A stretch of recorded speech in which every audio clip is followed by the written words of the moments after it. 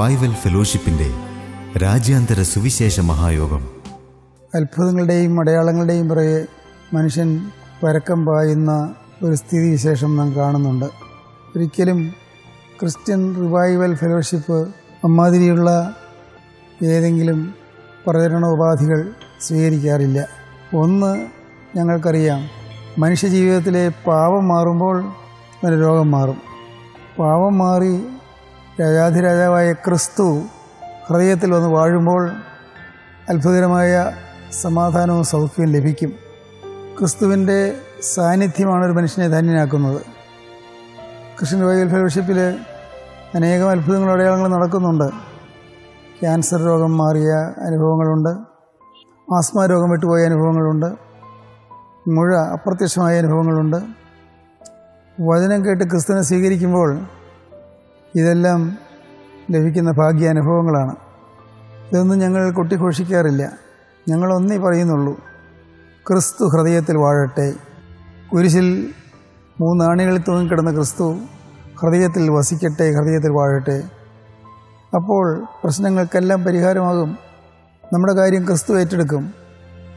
ക്രിസ്തുവിനെ സ്വീകരിക്കുക ക്രിസ്തുവിനെ കൈക്കൊള്ളുക ക്രിസ്തുവിന്റെ നിർമ്മല വചനത്തിന്റെ ഇടയിലേക്ക് നിങ്ങൾ ഓടിയണയുക ക്രിസ്ത്യൻ റിവൈവൽ ഫെലോഷിപ്പിന്റെ രാജ്യാന്തര സുവിശേഷ മഹായോഗം കോലഞ്ചേരി ഞാറ്റുംകാലായിൽ ഹിൽ ടോപ്പ് ഡിസംബർ ഇരുപത്തിയഞ്ച് മുതൽ മുപ്പത്തിയൊന്ന് വരെ. പവർ വിഷൻ ടി വിയിൽ തത്സമയ സംപ്രേഷണം. നിങ്ങളും കടന്നുവരിക നിങ്ങൾ സ്നേഹിക്കുന്നവരെയും ക്ഷണിക്കുക. ഞങ്ങളും ക്രൂശിക്കപ്പെട്ട ക്രിസ്തുവിനെ പ്രസംഗിക്കുന്നു.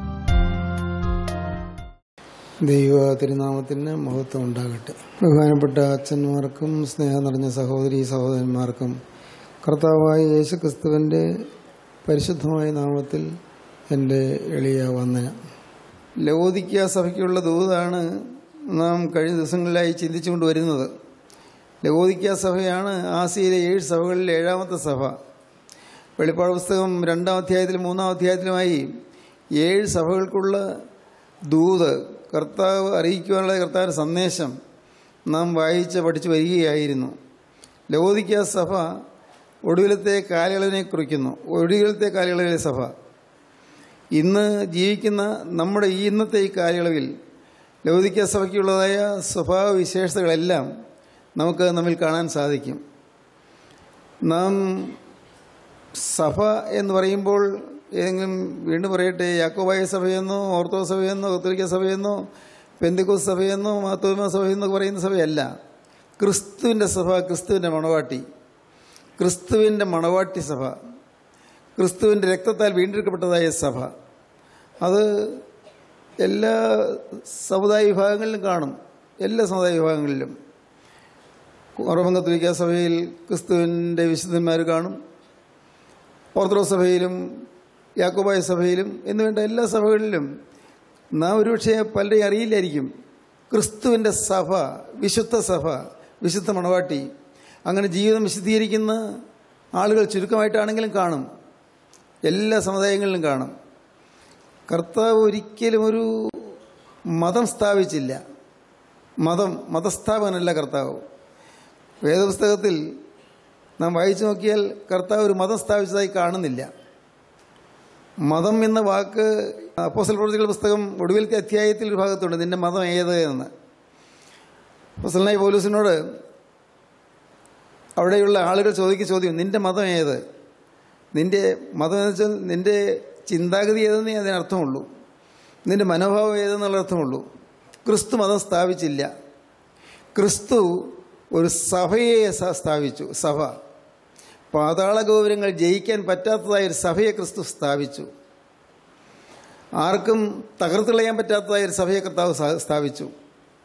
ആ വിശുദ്ധ സഭ വിശുദ്ധന്മാരുടെ സമൂഹം അതിൽ നാം ഉൾപ്പെടേണ്ടവരാണ്. അതിനാണ് ഈ ദൂതുകളെല്ലാം കിട്ട- കിട്ടുന്നത്. ലവോദിക്ക സഭയ്ക്കുള്ള അവിടെ പറയുന്നു നിനക്കൊരു ധാരണയുണ്ട്.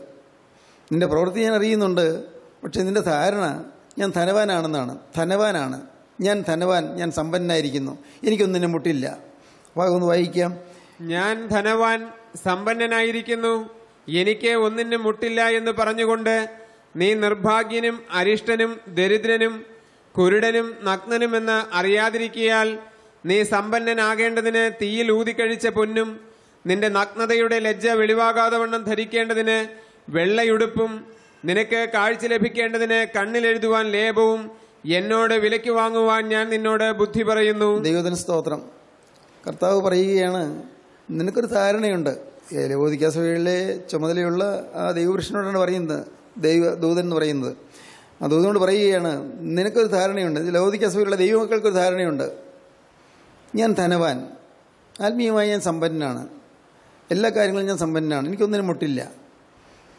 എനിക്ക് വനശുശ്രൂഷയുണ്ട് എനിക്ക് പ്രസംഗങ്ങളുണ്ട് എനിക്ക് ബൈബിൾ ക്ലാസ്സുകളുണ്ട് എനിക്ക് ആരാധനയുണ്ട് കുർബാനയുണ്ട് തിരുവത്താഴമുണ്ട് എനിക്ക് ആത്മീയമായ കാര്യങ്ങളെല്ലാം ഉണ്ട്. ഞാൻ ധനവാൻ. ഞാൻ ധനവാനാണ് ഞാൻ സമ്പന്നായിരിക്കുന്നു എനിക്ക് ഒന്നിനും മുട്ടില്ല എന്നാണ് നീ ധരിച്ചു വച്ചിരിക്കുന്നത്. വലിയൊരു അപകടമാണ് സഭയ്ക്ക് വന്നത്. സഭയുടെ തനതായ അവസ്ഥ അറിയുന്നില്ല. നാം അങ്ങനെയാണ്. യേശുക്രിസ്തു എന്നെ എങ്ങനെയാണ് കാണുന്നതെന്ന് നാം ചിന്തിക്കാറില്ല. ഇപ്പോൾ യേശുക്രിസ്തു എന്നെ എങ്ങനെയായിരിക്കും കാണുന്നത്? എന്റെ ഈ മനോഭാവം വെച്ചുകൊണ്ട് എന്റെ വ്യാജഭാവം വെച്ചുകൊണ്ട് എന്റെ സൂത്രവും കൗശലവും വെച്ചുകൊണ്ട് എന്റെ കാപട്യം വെച്ചുകൊണ്ട് എന്റെ അസത്യം കണ്ടുകൊണ്ട് യേശുക്രിസ്തു എന്നെ എങ്ങനെയായിരിക്കും കാണുക? ക്രിസ്തു എന്നെ എങ്ങനെ കാണും? അതാണ് ചിന്താവശ്യമാകേണ്ടത് യേശുക്രിസ്തു എന്നെ എങ്ങനെ കാണും? ക്രിസ്തു യേശുക്രിസ്തു എന്നെ കാണുന്ന വിധത്തിൽ എനിക്ക് എന്നെ തന്നെ കാണണം. അതൊരു ചിന്താ വിഷയമായിരിക്കും പ്രാർത്ഥന വിഷയമായിരിക്കും ചെയ്യേണ്ടതാണ്. യേശു എന്നെ കാണുന്നത് പോലെ എനിക്ക് എന്നെ കാണണം. എന്റെ അവസ്ഥ എന്ത് എന്ന് എനിക്കറിയണം. അത് വേറെ ആരും പറഞ്ഞു തരണ്ട. നമുക്ക് തന്നെ തന്നെ മനസ്സിലാകും. നമ്മുടെ ഓരോ ചെയ്തികളിലൂടെയും ഓരോ വാക്കുകളിലൂടെയും നമ്മുടെ ഓരോ ചിന്താഗതിയിലൂടെയും നമുക്ക് തന്നെ മനസ്സിലാകും നമ്മുടെ തനതായ അവസ്ഥ എന്താണെന്ന്. നമ്മുടെ ജീവിതത്തിൽ പിശാജ് അവകാശം അറിയുന്ന ഏതെല്ലാം കാര്യങ്ങളാണെന്ന് നമുക്ക് മനസ്സിലാകും. സാത്താന് ഹിതകരമായ എന്തെല്ലാമാണ് നമ്മിൽ ഉള്ളതെന്ന് നമുക്ക് മനസ്സിലാകും. പക്ഷേ നമ്മിൽ അനേകം പേര് അനേകം അനേകം പേര് ഭൂരിപക്ഷം പേരും ഞാൻ ധനവാൻ ഞാൻ സമ്പന്നായിരിക്കുന്നു എനിക്ക് ഒന്നിനും മുട്ടില്ല എന്ന് ധരിച്ചിരിക്കുകയാണ്. ഞങ്ങളുടെ കൂട്ടായ്മ സത്യത്തിന്റെ കൂട്ടായ്മയാണ് ഏറ്റവും നല്ല കൂട്ടായ്മയാണ് അനുഗ്രഹിക്കപ്പെട്ട കൂട്ടായ്മയാണ് അനുഗ്രഹിക്കപ്പെട്ട വചനമാണെന്നൊക്കെ നാം സ്വയം പറയുമ്പോഴും നാം അതിന്റെ അനുഗ്രഹം പ്രാപിക്കുന്നില്ല. എന്താണ് എന്താണ് ക്രിസ്തു നമ്മെക്കുറിച്ച് കാണുന്നത്? എന്നെ യേശു എങ്ങനെയാണ് കാണുന്നത് നാം ചിന്തിക്കാറില്ല.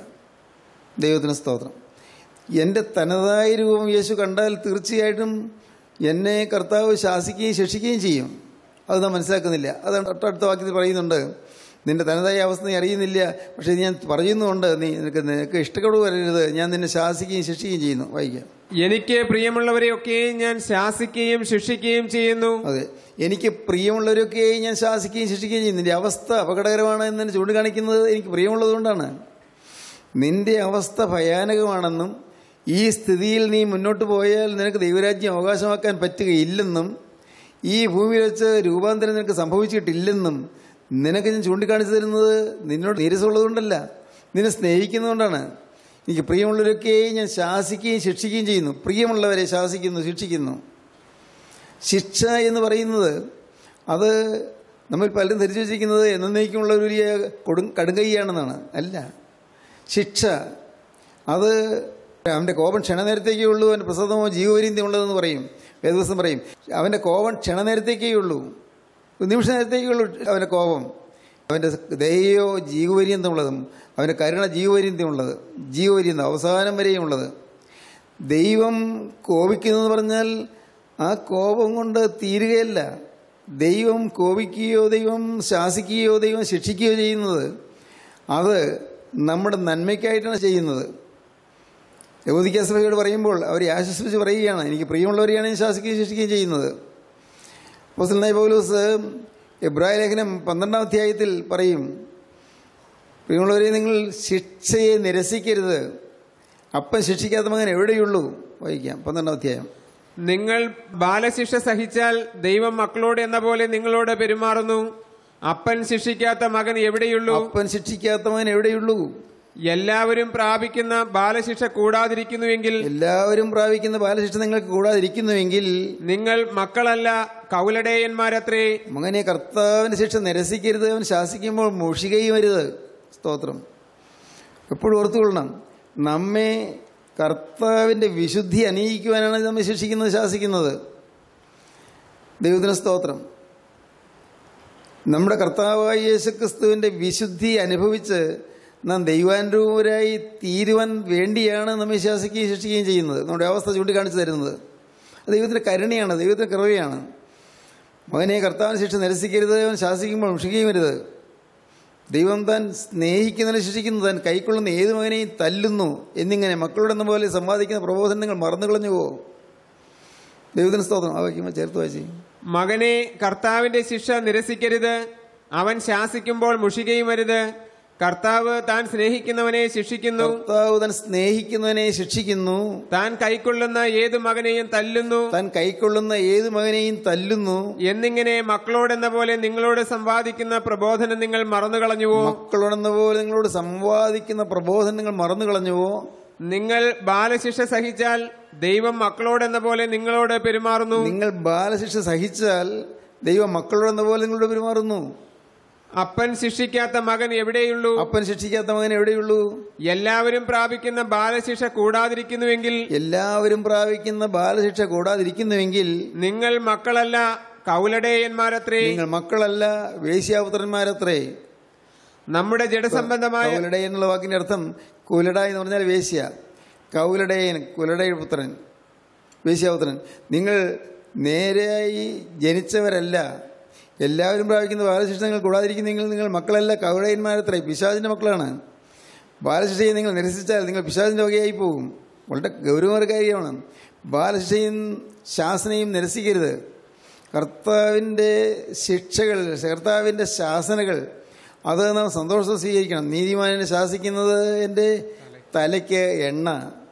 എന്റെ തലയത് വിലക്കാതിരിക്കട്ടെ. സംഘത്തക്കാരൻ പറയും നീതിമാനെ ശാസിക്കുന്നതിന്റെ തലയ്ക്ക് എണ്ണ അത് എന്റെ തല വില- വിലക്കാതിരിക്കട്ടെ. അത് വിലക്കരുത് ശാസനയെ വിലക്കരുത്. ദൈവത്തിന് സ്തോത്രം. ഇവിടെ ലവോദിക്ക സഭയോട് പറയുന്നത് ശാസിച്ചാണ് പറയുന്നത് നീ ധരിച്ചിരിക്കുന്നത് ധനവാനാണെന്ന് നീ ധരിച്ചിരിക്കുന്നത് സമ്പന്നനാണെന്ന് നീ ധരിച്ചിരിക്കുന്നു എനിക്ക് ഒന്നിനും ഒന്നിനും മുട്ടില്ല എന്ന്. പക്ഷേ ആ സഭയോട് പറയുകയാണ് നീ ധനവാനുമല്ല നീ ദരിദ്രനാണ്. വായിക്കാം. ഞാൻ ധനവാൻ സമ്പന്നനായിരിക്കുന്നു. എനിക്ക് ഒന്നിനും മുട്ടില്ല എന്ന് പറഞ്ഞുകൊണ്ട് നീ നിർഭാഗ്യ നിർഭാഗ്യനാണെന്ന് അറിയുന്നില്ലല്ലോ. അരിഷ്ടനും നീ അരിഷ്ടനാണെന്ന് നീ അറിയുന്നില്ലല്ലോ. ദരിദ്രനും നീ ദരിദ്രനാണെന്ന് നീ അറിയുന്നില്ലല്ലോ. കുരുടനും നീ കുരുടനാണെന്ന് നീ അറിയുന്നില്ലല്ലോ. നഗ്നനുമെന്ന് അറിയാതിരിക്കിയാൽ ഞാൻ നഗ്നനാണെന്ന് നീ അറിയുന്നില്ലല്ലോ അത് അറിയാതിരിക്കയാൽ നീ സമ്പന്നനാകേണ്ടതിന് സമ്പന്നനാകേണ്ടതിന് തീയിൽ ഊതിക്കഴിച്ച പൊന്നും തീയിൽ ഊതിക്കഴിച്ച പൊന്നും നിന്റെ നഗ്നതയുടെ ലജ്ജ വെളിവാകാതെ വണ്ണം ധരിക്കേണ്ടതിന് നിന്റെ നഗ്നതയുടെ ലജ്ജ വെളിവാകാതെ വണ്ണം ധരിക്കേണ്ടതിന് വെള്ളയുടുപ്പും വെള്ളയുടുപ്പും. നിനക്ക് കാഴ്ച ലഭിക്കേണ്ടതിന് നിനക്ക് കാഴ്ച ലഭിക്കേണ്ടതിന് കണ്ണിൽ എഴുതുവാൻ ലേപവും കണ്ണിൽ എഴുതുവാൻ ലേപവും എന്നോട് വിലയ്ക്ക് വാങ്ങുവാൻ ഞാൻ നിന്നോട് ബുദ്ധി പറയുന്നു. എന്നോട് വിലയ്ക്ക് വാങ്ങുവാൻ നിന്നോട് ബുദ്ധി പറയുന്നു. വളരെ ഗൗരവമാണ്. ആദ്യം സൗജന്യമായി സ്നേഹം തന്നു. സൗജന്യമായി സ്വർഗീയധനം തന്നു. സൗജന്യമായി ദൈവത്തിന്റെ ക്രമ തന്നു. ആദ്യം സമർപ്പിക്കുമ്പോൾ പാപങ്ങളൊന്നും ചോദിക്കുന്നില്ല. ആത്മാവിന് വിശ്വാസമുണ്ട് എന്നറിയുമ്പോൾ ഉടനെ ആത്മാവ് കോരിയെടുക്കും. ഒരു ചെറിയ തകർച്ച വരുമ്പോഴേക്കും ആത്മാവ് ആളെ രക്ഷിക്കും. പക്ഷേ ആ ആൾ മനസ്സിലാക്കണം ഞാൻ എന്നെ തന്നെ ഞാൻ കാണണമെന്ന്. എനിക്ക് സൗജന്യമായി ദൈവം സ്നേഹം തന്നു ആത്മാവിനെ തന്നു. ഞാൻ ഞാൻ എന്നെ തന്നെ കാണണം. സൗജന്യമായി ദൈവകൃപ എനിക്ക് തന്നു. ദൈവത്തിന്റെ പരിശുദ്ധാത്മാവിന്റെ മേൽ പകർന്നു തന്നു. ദൈവത്തിന്റെ സ്നേഹം എന്റെ മേൽ പകർന്നു തന്നു. സൗജന്യമായിട്ട് ഇതെല്ലാം തന്നു. ഒന്നും പാവങ്ങളൊന്നും ഏറ്റു പറഞ്ഞില്ല ഏറ്റു പറയിച്ചുമില്ല ഒന്നും പറയാൻ അവസരം തന്നില്ല ഒന്നും പറഞ്ഞില്ല. തനിയേ ഇരുന്ന് പറഞ്ഞോ ഇല്ലയോ അത് ഒരു നോക്കുന്നില്ല. സൗജന്യമായി സ്നേഹം തരുന്നു. ആദ്യം അങ്ങനെയാണ് ചെയ്യുന്നത്. പക്ഷേ നാം ലഭിച്ചതെന്ത് എന്നറിഞ്ഞ് എനിക്ക് പരിശുദ്ധാത്മാവ് ലഭിച്ചു എന്നറിഞ്ഞ് ഞാൻ സമർപ്പിച്ചത് എന്റെ പരിശുദ്ധാത്മാവ് എന്റെ ജീവിതത്തിൽ സന്തോഷമായി തിരഞ്ഞെടുത്തു എന്നറിഞ്ഞ് അതെനിക്ക് സമാധാനം തരുന്നറിഞ്ഞ് അവനവൻ തനിയെ തിരിഞ്ഞു നോക്കണം. എന്റെ ജീവിതത്തിൽ എന്തെല്ലാമായിരുന്നു ഉണ്ടായിരുന്നത്? അയ്യോ ഈ കണ്ട പാവങ്ങളെല്ലാം ഉണ്ടായിട്ട് കർത്താവ് ഒന്നും ചോദിച്ചില്ലല്ലോ. നിങ്ങൾക്കറിയരുതോ? സക്കായിയുടെ കൂടെ കർത്താവ് സക്കായിയുടെ ഭവനത്തിലേക്ക് പോയി. കർത്താവ് ഒന്നും ചോദിച്ചില്ലല്ലോ. സക്കായി നീ അന്യായമായി സമ്പാദിച്ചവനല്ലേ? കർത്താവ് ചോദിച്ചില്ല. നീ നാട്ടിൽ അനേകർക്ക് ധനം നീ കവർന്നെടുത്തവനല്ലേ ചോദിച്ചില്ല. നിന്റെ കയ്യിലുള്ള റോമൻ സർക്കാരിന്റെ ലൈസൻസ് കൊണ്ട് അതിന്റെ ബലത്തിൽ നീ അനേകരെ കുത്തിപ്പിഴിഞ്ഞില്ലേ ചോദിച്ചില്ല. ഒരു പാവവും ചോദിച്ചില്ല. സൗജന്യമായി ഞാൻ നിന്റെ വീട്ടിൽ പാർക്കേണ്ടതാകുന്നേ പറഞ്ഞുള്ളൂ. ഞാൻ നിന്റെ വീട്ടിൽ പാർക്കേണ്ടതാകുന്നു. കർത്താവ് സക്കായുടെ വീട്ടിലേക്ക് നടക്കുകയാണ്. പക്ഷേ സക്കായിക്ക് മനസ്സിലായി അയ്യോ ഇത്രയും പാവിയായ എന്റെ വീട്ടിലേക്ക് യേശു വരുന്നോ? ഇങ്ങനെ എനിക്ക് സൗജന്യമായ സ്നേഹം തന്നു. പക്ഷെ ഞാൻ ആരാണ് ഞാൻ ആരാണ് ഞാൻ മഹാദ്രവ്യാഗ്രഹിയാണല്ലോ. ഞാൻ കൊള്ളരാത്തവനാണല്ലോ. എന്റെ സ്വന്തം ജാതിയിൽപ്പെട്ട യഹൂദന്മാരെ ഞാൻ കഴുത്തറപ്പൻ നയം കൊണ്ട് അവരുടെ പണം ഞാൻ അപഹരിച്ചെടുത്തല്ലോ. ഞാൻ ഒട്ടേറെ അന്യായമായി സമ്പാദിച്ചല്ലോ. അയ്യോ എന്തുമാത്രമാണ് ഞാൻ അന്യായമായി സമ്പാദിച്ചത്? ദൈവമേ ഇതെല്ലാം ഉണ്ടായിട്ട് ഒന്നും ചോദിക്കാതെ കർത്താവ് എന്റെ കൂടെ വരുന്നല്ലോ. എന്തൊരു അത്ഭുതം. എന്റെ വീട്ടിലേക്ക് നാശയോഗ്യമായ എന്റെ വീട്ടിലേക്ക് ഒരു ദ്രവ്യാഗ്രഹിയുടെ വീട്ടിലേക്ക്. ഒരു അശുദ്ധനായ മനുഷ്യന്റെ വീട്ടിലേക്ക് ജീവിതം തകർത്ത് കളഞ്ഞ ഒരു മനുഷ്യന്റെ വീട്ടിലേക്ക് യേശു വരുന്നല്ലോ. സക്കായിക്ക് അനുതാപം ഉണ്ടായി. സക്കായി പറഞ്ഞു കർത്താവേ ഒന്ന് നിൽക്കണേ ഒന്ന് നിൽക്കണേ ഞാനൊന്ന് പറഞ്ഞോട്ടെ കർത്താവേ. ഞാൻ അന്യായമായി സമ്പാദിച്ചതിന് ഞാൻ കർത്താവെ സ്വത്തിൽ പകുതിയും ദരിദ്രർക്ക് കൊടുക്കാൻ തീരുമാനിച്ചു കഴിഞ്ഞിരിക്കുന്നു. കർത്താവ് ചോദിച്ചില്ല നീ എന്താ തീരുമാനിച്ചതെന്ന് ചോദിച്ചില്ല. ഞാൻ അന്യായമായി സമ്പാദിച്ചവനാണ്. സ്വത്തിൽ പകുതിയും ദരിദ്രർക്ക് കൊടുക്കുന്നു. തന്നെയല്ല അന്യായമായി സമ്പാദിച്ചതിൽ എനിക്ക് ഓർമ്മയുള്ളവർ അവർക്കെല്ലാം നാലിരട്ടി പകരം കൊടുക്കുന്നു. സക്കായി ദൈവസന്നിധിയിൽ തീരുമാനം പറയുകയാണ്. കർത്താവ് തീരുമാനം പറയാൻ ചോദിച്ചില്ല. പ്രിയപ്പെട്ടവരെ ഓരോ പ്രാവശ്യവും നിങ്ങൾ വന്ന് ദൈവത്തിന് വചനം കേൾക്കുമ്പോൾ നിങ്ങൾ ആ യോഗത്തിന്റെ അവസാനത്തിൽ നിങ്ങൾ ഒരുപക്ഷെ കൈവക്കിയെന്ന് വരും. സൗജന്യ സ്നേഹം പകരുകയാണ്. സൗജന്യമായി കൃപയാണ് പകരുന്നത്. അത് മനസ്സിലാക്കണം നാം. സൗജന്യമായി സ്നേഹം പകരുന്നത് മനസ്സിലാക്കിയിട്ട് എന്റെ കർത്താവ് ഞാൻ ആരാണെന്ന് തിരിച്ചറിയണം. അയ്യോ ഞാൻ എത്ര ഘോര പ്രകൃതിയാണ് ഞാനെത്ര അഹങ്കാരിയാണ്. ഞാനത്ര തന്നിഷ്ടക്കാരനാണ്. ഞാനത്ര ധിക്കാരിയാണ്. ആർക്കും വഴങ്ങാത്ത പ്രകൃതമുള്ളവനാണ്. കർത്താവെ സ്നേഹത്തിന്റെ കണികയില്ലാത്തവനാണ് കർത്താവെ കരുണയില്ലാത്തവനാണ് വേദനിക്കുന്നവരുടെ വേദന എനിക്കൊരു വിഷയമായിട്ടില്ല. കർത്താവെ എന്റെ സ്വന്തം കാര്യം മാത്രമേ ഞാൻ ചിന്തിച്ചിട്ടുള്ളൂ. എന്റെ സുഖം എന്റെ സന്തോഷം. ഞാനും എന്റെ ഭാര്യയും അല്ല എന്റെ ഭർത്താവും എന്റെ മക്കളും തീർന്നു. എന്റെ കുടുംബം അതേ ഉള്ളൂ ചിന്താവിഷയം. അതിനപ്പുറത്തേക്ക് എന്റെ ചിന്ത പോകുന്നില്ല. ഇത് തിരിച്ചറിയണം. തിരിച്ചറിഞ്ഞ് നാം പിന്നെയാണ് കർത്താവിന്റെ സ്നേഹം കിട്ടിയതിനുള്ള നന്ദിയിൽ ഓരോന്നോരോന്ന് ചകഞ്ഞെടുത്ത് എന്റെ കർത്താവ് ഇതെല്ലാം ഉണ്ടായിട്ട് നീ എന്നെ സ്നേഹിച്ചല്ലോ എന്നുള്ള നന്ദിയോടെ സ്തുതിക്കണം. അപ്പോഴാണ് ആ ആത്മാവ് അവിടെ നിലനിൽക്കൂ അല്ലെങ്കിൽ ആത്മാവ് പിന്നെയും വിട്ടുപോകും. സൗജന്യമായി കിട്ടി പക്ഷേ ആത്മാവ് വിട്ടുപോകുകയാണ്. ദൈവത്തിന് സ്തോത്രം. പ്രിയപ്പെട്ടവരെ ഓർക്കുക ഈ പരിശുദ്ധാത്മാവിന് ലഭിക്കുന്നത് സന്തോഷം തന്നെയാണ്. പക്ഷേ അത് പിന്നെ നിർവിചാരികളായി വിചാരമില്ലാത്തവരായി നടക്കാനല്ല. ചിന്തയില്ലാത്തവർ നടക്കാനല്ല. നാം ഇനേർഷ്യ ഇനേർഷ്യ. നാം നിഷ്ക്രിയന്മാരായിരിക്കാനല്ല. നാം പ്രവർത്തനങ്ങളൊന്നും ഇല്ലാതിരിക്കുന്നവരായി ഇരിക്കാനല്ല. മന്ദബുദ്ധികളായിരിക്കാനല്ല. നാം ചിന്തിക്കണം. എന്നെ സ്നേഹിച്ച സ്നേഹം. എന്റെ യേശുവെ നീ എന്നെ സ്നേഹിച്ചല്ലോ. എനിക്ക് നിന്റെ കൃപ തന്നല്ലോ. എനിക്ക് കൃപയുടെ വചനം തന്നല്ലോ. കേൾക്കാൻ യോഗ്യതയില്ലാത്ത എനിക്ക് നിന്റെ കൃപയുടെ വചനം നീ തന്നല്ലോ. മഹാഭാവിയായ എന്നെ നീ സ്നേഹിച്ചല്ലോ. ഈ കർത്താവെ തിരിഞ്ഞു നോക്കുമ്പോൾ ലജ്ജാകരമായിരുന്നല്ലോ എന്റെ ജീവിതം. എത്ര ലജ്ജാകരമായ ജീവിതമാണ് ഞാൻ നയിച്ചത്. അയ്യോ എനിക്ക് ചിന്തിക്കാൻ പറ്റുന്നില്ല. ഇപ്പോൾ ലജ്ജ തോന്നുന്നത് തന്നെ. കർത്താവെ എത്രമാത്രം വലിയ അഹങ്കാരിയായിരുന്നു ഞാൻ. ആർക്കും വഴങ്ങാത്ത പ്രകൃതമുള്ളവനായിരുന്നു ഞാൻ. ആരെയും സ്നേഹിക്കാത്ത പ്രകൃതമുള്ളവനായിരുന്നു ഞാൻ. തൻ കാര്യം മാത്രമേ നോക്കുന്നുണ്ടായിരുന്നുള്ളൂ. ചിന്തിക്കണം ഓരോന്നോരോന്ന് ചിന്തിക്കണം.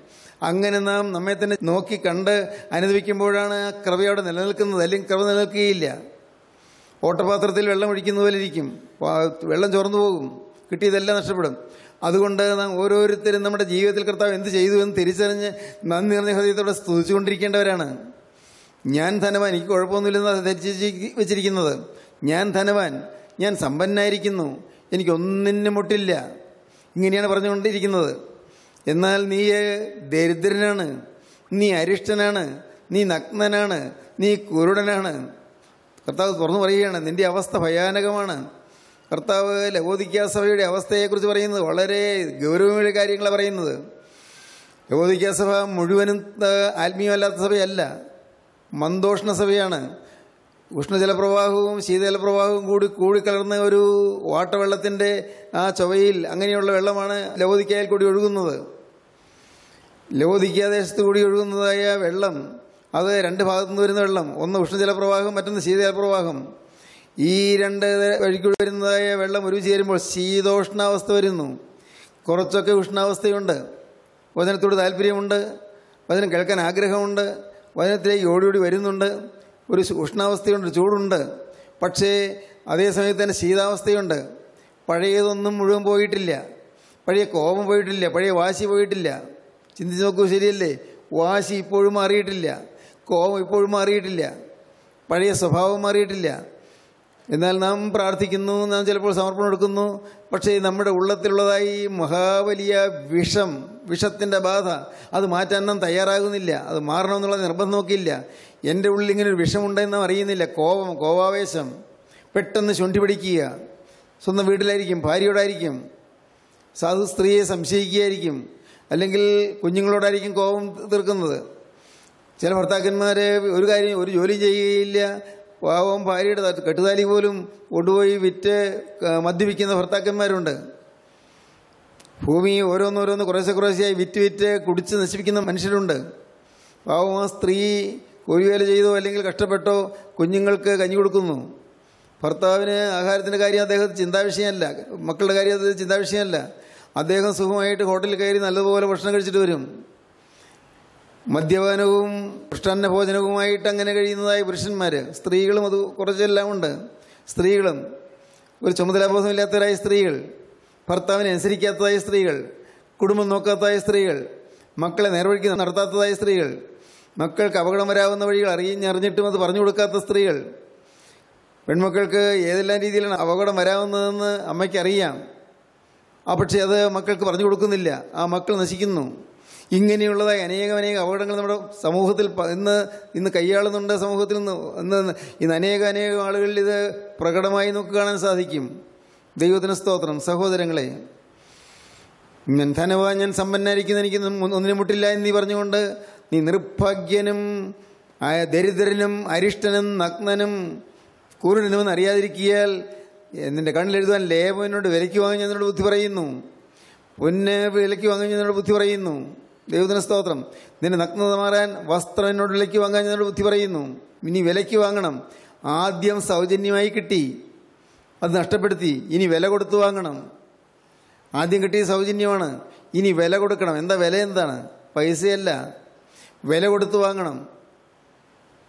കണ്ണീരൊഴുക്കി കരഞ്ഞ് കരഞ്ഞ് അനുദപിച്ച് അനുദപിച്ച് വിതുമ്പി ഒരുപക്ഷേ നാം ശുശ്രൂഷയിലാണെങ്കിൽ ശുശ്രൂഷയ്ക്ക് ഇറങ്ങാതെ ശുശ്രൂഷ ചെയ്യാതെ മാറിയിരുന്ന് കർത്താവിന്റെ വേലക്കാരനാണെങ്കിൽ വേലയ്ക്ക് പോകാതെ മാറിയിരുന്ന് ഏം കടിച്ച് കരഞ്ഞുകൊണ്ട് യഥാസ്ഥാനപ്പെടണം. അവനവൻ ചെയ്യേണ്ടതാണ് വില കൊടുത്ത് വാങ്ങണം. ഇന്ന് നമ്മുടെ കൂട്ടായ്മയ്ക്ക് ഒരിക്കുന്ന അപകടം അതാണ്. ഒരു സമയത്ത് ദൈവസ്നേഹം സൗജന്യമായി കിട്ടി. സൗജന്യമായി ദൈവസ്നേഹം കിട്ടി. ഒരുപക്ഷെ എനിക്ക് തോന്നുന്നു ഇതിൽ തൊണ്ണൂറ് ശതമാനം പേർക്കും ഈ ആത്മാവിന്റെ ആ സ്നേഹം കിട്ടിയിട്ടുണ്ട്. പക്ഷേ നിലനിൽക്കുന്നില്ല. ഏതാനും ദിവസം കഴിയുമ്പോഴേക്കും വീണ്ടും പഴയതുപോലെ മരവിച്ച അവസ്ഥയായി. എന്താ പറ്റിയത്? ഈ ജീവിതത്തിൽ പറ്റിയതായ തെറ്റുകൾ തിരിച്ചറിയുന്നില്ല. പരസ്പരമുള്ളതായ വൈരുദ്ധ്യങ്ങൾ തിരിച്ചറിയുന്നില്ല. പരസ്പരമുള്ളതായ സ്നേഹക്കുറവുകൾ തിരിച്ചറിയുന്നില്ല. കുടുംബത്തിലെ അലോഹ്യങ്ങൾ കൂട്ടായ്മയിലെ അലോഹ്യങ്ങൾ ഇതൊന്നും തിരിച്ചറിയുന്നില്ല. ചില പരിഭവങ്ങളോ ഇഷ്ടക്കേടുകളോ മുഷ്ടിലുകളോ ചിലരോടുണ്ടെങ്കിൽ അതൊക്കെ ഒന്ന് ഒന്നും ഗൗരവമായിട്ട് എടുക്കുന്നില്ല. ഓരോന്ന് ഓരോന്ന് എണ്ണി എണ്ണി പറഞ്ഞ് എണ്ണി എണ്ണി ഏറ്റു പറഞ്ഞ് കർത്താവിൽ നിന്ന് മോചനം പ്രാപിക്കേണ്ടതാണ്. ഏങ്ങടിച്ച് കരഞ്ഞുകൊണ്ട് കർത്താവേ ഈ സ്ഥിതിയിൽ ഞാൻ ഈ ഭൂമിയിൽ നിന്ന് മാറ്റപ്പെട്ടാൽ അയ്യോ നിന്റെ സ്വർഗരാജ്യത്തിൽ എത്തുവാൻ എനിക്ക് സാധ്യമല്ലല്ലോ എന്ന് എണ്ണി എണ്ണി പറഞ്ഞുകൊണ്ട് കർത്താവിനോട് മാപ്പ് ചോദിക്കണം. ദൈവത്തിന് സ്തോത്രം. സഹോദരങ്ങളെ ആർക്കും രക്ഷപ്പെടാം. നിങ്ങൾക്ക് ആർക്കും രക്ഷപ്പെടാം. ആരും നിരാശരാകേണ്ട കാര്യമില്ല. കർത്താവായ യേശു ക്രിസ്തു നമുക്ക് അവസരം തരികയാണ്. ഇനി വിലയ്ക്ക് വാങ്ങേണ്ടിയിരിക്കുന്നു. വിലയ്ക്ക് വാങ്ങുക. കർത്താവിന് സ്തോത്രം. ദുഷ്ടാത്മാക്കൾ അകത്ത് കയറി. പരിശുദ്ധാത്മാവസ്ഥയായ ഹൃദയത്തിൽ ദുഷ്ടാത്മാക്കൾ കയറി പറ്റി കോപത്തിന്റെ ആത്മാവ് രോഗത്തിന്റെ ആത്മാവ് കഷ്ടതയുടെ ആത്മാവ് അപകടത്തിന്റെ ആത്മാവ് അത്യാഹിതത്തിന്റെ ആത്മാവ്. ദുരാത്മാക്കൾ ഏറെയേറെ ദുരാത്മാക്കൾ അകത്ത് കയറി പറ്റി അടിക്കടി ദുരിതങ്ങൾ വരുന്നു. അടിക്കടി രോഗങ്ങൾ വരുന്നു. അടിക്കടി അത്യാഹിതങ്ങൾ വരുന്നു. അടിക്കടി കഷ്ടനഷ്ടങ്ങൾ വരുന്നു. ദുരാത്മാക്കൾ കയറി ഇങ്ങനെ നശിപ്പിച്ചുകൊണ്ടിരിക്കുകയാണ്. ഇനി എന്താണ് ചെയ്യേണ്ടത്? ഒരേ ഒരു പോംവഴി മാത്രം ഒറ്റയ്ക്കൊരു പോംവഴി സാധിക്കും. വേണമെങ്കിൽ സാധി അത്യാവശ്യക്കാരാണെങ്കിൽ നിങ്ങൾക്ക് സാധിക്കും. നിങ്ങൾ കീഴടങ്ങുക. കർത്താവിന്റെ വചനത്തിന് കീഴടങ്ങുക. കർത്താവേ നീ പറയുന്നതെല്ലാം സത്യം. എനിക്കൊന്നും അറിഞ്ഞുകൂടാ. നീ പറയുന്നതെല്ലാം സത്യം ഞാൻ വിശ്വസിക്കുന്നു. കർത്താവെ എനിക്ക് ഒരു വിശുദ്ധനായി തീരണം ഹല്ലേലൂയ ദൈവത്തിന് സ്തോത്രം. എന്റെ യേശുവെ എനിക്ക് വേറൊരു ലക്ഷ്യമില്ല. യേശുവെ എനിക്ക് വേറൊരു ഉദ്ദേശമില്ല. ഈ ലോകത്ത് എന്റെ ജീവിതത്തിൽ ഏത് പ്രായത്തിലാണെങ്കിലും എനിക്കൊരു വിശുദ്ധനായി തീരണം. ഒരു വിശുദ്ധനായി എനിക്ക് ജീവിക്കണം. മരിച്ചു കടന്നു ചെല്ലുമ്പോൾ കിട്ടണം എന്നുള്ളതല്ല. അതിനപ്പുറം എന്നെ സ്നേഹിച്ച എന്റെ യേശുവിനെ സ്നേഹിച്ച് എനിക്ക് ജീവിക്കണം. കർത്താവേ എന്നെ സ്നേഹിച്ച് എനിക്ക് വേണ്ടി ക്രൂശിൽ രക്തം ചിന്തിയ എന്റെ യേശുവിനെ എനിക്ക് സ്നേഹിക്കണം. ഈ ചിന്താഗതി നിങ്ങളുടെ ഹൃദയത്തിൽ വരട്ടെ. എല്ലാം എല്ലാം മാറിപ്പോകും. പാപങ്ങളെല്ലാം മാറിപ്പോകും വിട്ടുപോകും. ദുരാത്മാക്കളെല്ലാം വിട്ടുപോകും. എല്ലാ ദുഷ്ടപിശാചികളും ഹൃദയത്തിൽ നിന്ന് ഇറങ്ങി മാറും. അവിടെ സത്യപ്രകാശം ഉദിക്കും. ഇത് നിങ്ങൾക്ക് ഓരോരുത്തർക്കും സാധിച്ചെടുക്കാം. ഓരോരുത്തരും പ്രാപിക്കണത് അവരവർ പ്രാപിക്കണം. കൃപയാൽ നമുക്ക് അതിനുള്ളതായ ഉത്തേജനം തരുവാനുള്ള വചന ശുശ്രൂഷകളുണ്ടല്ലോ. അത് നിങ്ങൾക്ക് മാർഗദർശനം തരാനുള്ളതായ വഴികാട്ടിയായുള്ള തിരുവചന ശുശ്രൂഷകളുണ്ടല്ലോ. ഈ തിരുവചന ശുശ്രൂഷകൾ നിങ്ങൾ പ്രത്യേകം ഓർക്കുകയും അത് മനസ്സിലാക്കുകയും അത് അനുഭവിക്കുകയും ചെയ്യണം. ദൈവത്തിന് സ്തോത്രം. ഇന്ന് സഹോദരി സഹോദരങ്ങളെ നിങ്ങളുടെ ജീവിതത്തിലേക്ക് നിങ്ങൾ തിരിഞ്ഞു നോക്കുക. നിങ്ങൾ ഇരുന്ന് എണ്ണി എണ്ണി എന്റെ പാവങ്ങൾ കണ്ടുപിടിച്ച് ഞാൻ കരയുമെന്ന് നിങ്ങൾ തീരുമാനിക്കുക. കർത്താവെ ഞാൻ പുറമെ ഭാവിയില്ലാത്തപ്പോഴും അകത്ത് ഞാൻ പാവിയാണ്. ഞാൻ അകത്ത് ഞാൻ എന്റെ കർത്താവ് നിർഭാഗ്യനാണ് അരിഷ്ടനാണ് ഞാൻ ദരിദ്രനാണ്. നിങ്ങളകത്താണ് പറയുക ദൈവത്തിന് സ്തോത്രം. ഇപ്പോൾ നിങ്ങൾക്ക് ഈ സമയത്ത് തന്നെ നിങ്ങൾക്ക് തീരുമാനമെടുക്കാം. കർത്താവിന്റെ കരങ്ങളിലേക്ക് നിങ്ങളെ ഏൽപ്പിച്ചു കൊടുക്കാം. കർത്താവിനോട് നിങ്ങൾക്ക് വാക്ക് പറയാം. നിങ്ങളുടെ പോരായ്മകളെല്ലാം തുറന്നു പറയാം. അറിയാവുന്ന കർത്താവിനോട് നിങ്ങൾക്ക് എല്ലാം തുറന്നു പറയാം. കർത്താവ് എല്ലാം കാണുന്നു എല്ലാം അറിയുന്നു. ദൈവത്തിന് സ്തോത്രം. അപ്പോൾ നിങ്ങളുടെ മേൽ കർത്താവിന്റെ കൃപയുടെ കരം വരും. കൃപയുടെ കരം ശീതളകരം നിങ്ങളുടെ മേൽ വെച്ച് കർത്താവ് നിങ്ങളെ ആശ്വസിപ്പിക്കും നിങ്ങളെ ആനന്ദിപ്പിക്കും. കർത്താവ് നിങ്ങൾക്ക് കുളിർമ തരും നിങ്ങൾക്ക് ആശ്വാസം തരും. നിങ്ങളുടെ ഹൃദയത്തിന്റെ നീറ്റലുകൾ മാറ്റിത്തരും നിങ്ങളുടെ കടത്തിന്റെ ബാധ്യതകൾ മാറ്റിത്തരും. കുടുംബത്തിലെ ശാപങ്ങൾ മാറ്റിത്തരും നിങ്ങളുടെ ഹൃദയത്തിലെ വ്യസനങ്ങൾ മാറ്റിത്തരും. നിങ്ങളുടെ കുടുംബം ഐശ്വര്യമുള്ളതായിത്തീരും നിങ്ങളുടെ മക്കൾ അനുഗ്രഹീതരായിത്തീരും. വരൂ നിങ്ങൾ കർത്താവിനെ സ്നേഹിക്കൂ കർത്താവിന്റെ നിങ്ങൾ തന്നെ ഏൽപ്പിക്കൂ. ദൈവത്തിന് സ്തോത്രം. ഇന്ന് ഈ വാക്കുകൾ കേട്ട് നിങ്ങൾ കർത്താവിനോട് പറയണം കർത്താവേ എന്റെ ആന്തരിക ദാഹം മാറ്റണമേ അന്തർദാഹം മാറ്റണമേ. എനിക്ക് എന്റെ നോവ് നീ മാറ്റി എനിക്ക് ഞാൻ ഭൗതികമായും ആത്മീയമായും അനുഭവിക്കുന്ന നോവുകൾ നീ മാറ്റി വേദന മാറ്റി എന്റെ ദുഃഖം മാറ്റി എന്റെ നെടുവീർപ്പ് മാറ്റി എനിക്ക് ആശ്വാസം തരണമേ എന്നിട്ട് തിരക്തത്താൽ എന്നെ ശുദ്ധീകരിക്കണമേ തിരക്തത്താൽ എന്നെ വീണ്ടെടുക്കണമേ. പ്രാർത്ഥിക്കൂ നമ്മുടെ കർത്താവിന്റെ കരങ്ങളിലേക്ക് കൊടുക്കാം.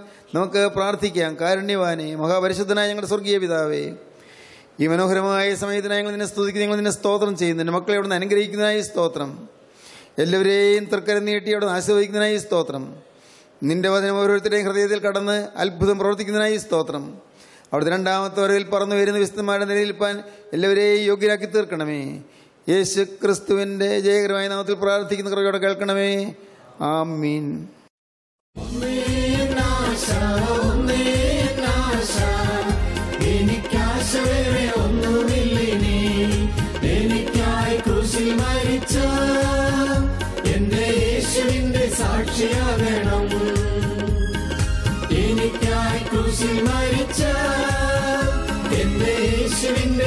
സാക്ഷിയാകണം ഒരാശയേ ഉള്ളൂ ഇനി ഒരാഗ്രഹമേ ഉള്ളൂ. എനിക്ക് വേണ്ടി ക്രൂസിൽ മരിച്ച യേശുവിന്റെ സാക്ഷിയാകണം. എനിക്ക് വേണ്ടി ജീവൻ വെടിഞ്ഞ യേശുവിന്റെ വിശുദ്ധനാകണം. പ്രയാസം മാത്രമേ ഉള്ളൂ. എന്റെ യേശു ആകാശമേഘങ്ങൾ എഴുന്നള്ളി വരുമ്പോൾ കാഹളം ധരിക്കുമ്പോൾ ആ കാഹളധ്വനി കേട്ട് പറന്നുയർന്ന് എന്റെ നാഥന്റെ തൃപ്പാദം ചുംബിക്കണം. ക്രിസ്ത്യൻ റിവൈവൽ ഫെലോഷിപ്പിന്റെ രാജ്യാന്തര സുവിശേഷ മഹായോഗം. കോലഞ്ചേരി ഞാറ്റുംകാലായിൽ ഹിൽടോപ്പ്. ഡിസംബർ ഇരുപത്തിയഞ്ച് മുതൽ മുപ്പത്തിയൊന്ന് വരെ.